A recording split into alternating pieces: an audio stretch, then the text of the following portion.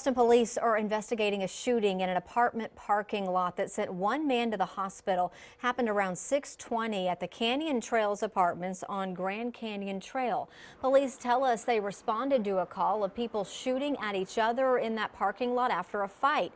At least three people were injured, but only one was taken to the hospital after being shot in the head. Austin Travis County EMS tell us the injuries to the man in his 40s are not expected to be life-threatening.